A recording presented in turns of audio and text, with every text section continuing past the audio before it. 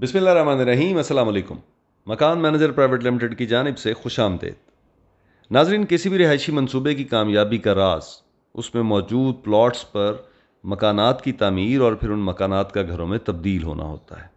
इसी हवाले से आज की वीडियो बहुत इंपॉर्टेंट है कि आज हम आपको साहिवाल शहर की main D H Q road पर बनने वाले एक इंतहाई मुनफरद और ख़ूबसूरत housing project Al Hasan garden में तमीर होने वाले पहले घर का विज़िट करवा रहे हैं।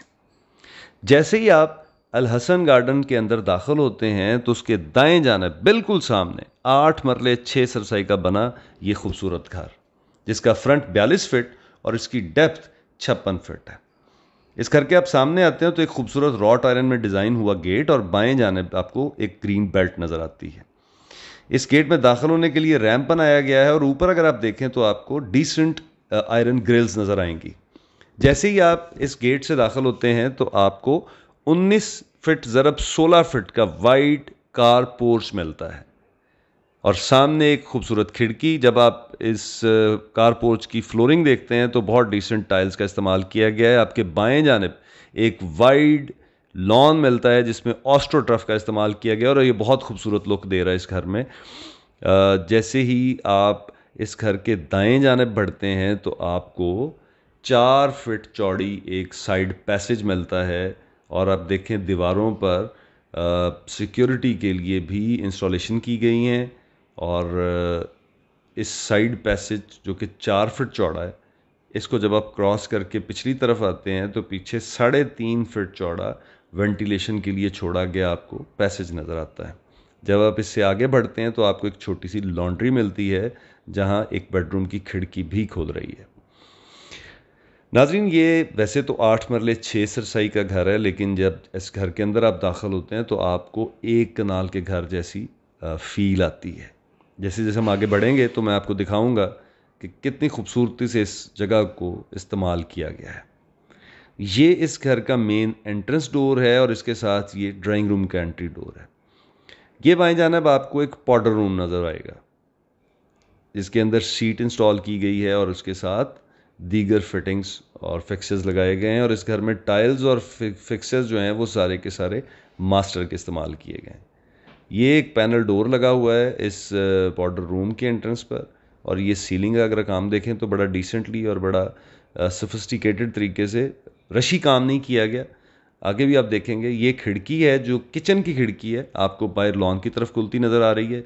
ये hundred percent solid wooden doors हैं जो मेन एंट्रेंस डोर है और जो ड्राइंग रूम का डोर है, ये दोनों hundred percent solid wooden doors हैं और अगर आप इनकी हाइट देखें तो वो भी आम स्टैंडर्ड डोर से ज़्यादा रखी गई है। जैसे ही आप इस मेन एंट्रेंस डोर से अंदर दाखिल होते हैं तो आपके दाएँ जानब एक स्लाइडिंग डोर लगाया गया है जो ड्राइंग रूम में खुलता है और ये देखें आप ड्राइंग रूम में निशीज़ बनाई गई हैं और इसके साथ मेन खिड़की एक रखी गई है जो बाहर पोर्च की तरफ़ खुलती है।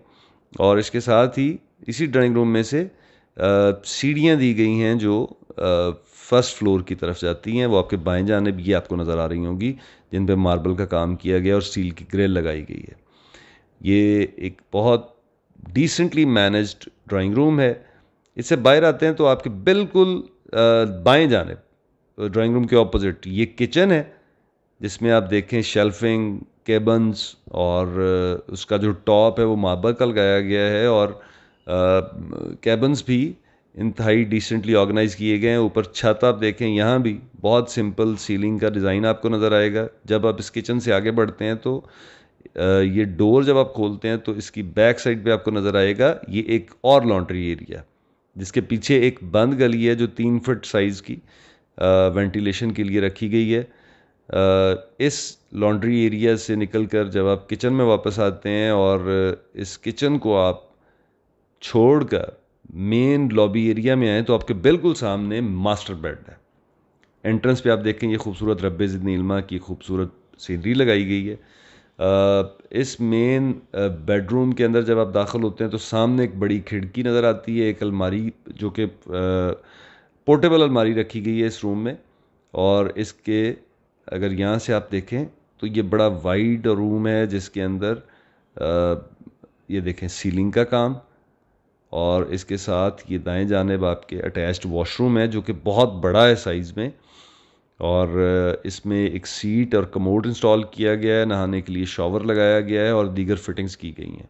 और यहाँ पर भी सीलिंग का बड़ा सिंपल और सोफिस्टिकेटेड डिज़ाइन है। जैसे ही आप इस मेन मास्टर बेडरूम से बाहर निकलते हैं तो आपके दाएँ जानब दूसरा बेडरूम है। यहाँ भी सॉलिड वुडन डोर्स लगाए गए हैं और इस दूसरे बेडरूम में जब आप दाखिल होते हैं तो आपको सेम स्टाइल में फर्नीचर नज़र आएगा। ये, इस बेडरूम के अंदर दो खिड़कियाँ एक आपको बेड की बैक साइड पर नज़र आएगी और एक दाएँ जानब यहाँ पे भी सीलिंग का बहुत सिंपल डिज़ाइन बनाया गया है। इस रूम के अंदर अगर आप टाइल वर्क देखें तो वो भी बड़ा डिफरेंट है। और ये इसकी दूसरी साइड की खिड़की है जो आपको पीछे आ, उसमें लॉन्ड्री में नज़र आई। इसके साथ भी अटैच्ड वॉशरूम है जहाँ पे सॉलिड वुडन डोर लगाए गए हैं।